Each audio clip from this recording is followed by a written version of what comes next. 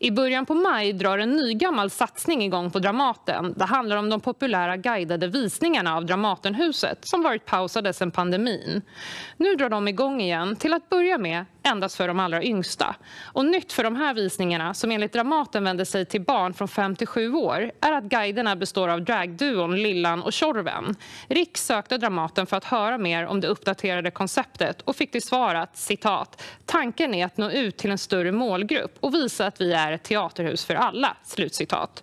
På frågan varför just män utklädda och sminkade till kvinnor ska visa Dramatens lokaler för femåringar svarar pressansvariga Lena Törner att det inte är något nytt utan att klä ut sig och spela olika kön är det man gör på teater och det är roligt för barn.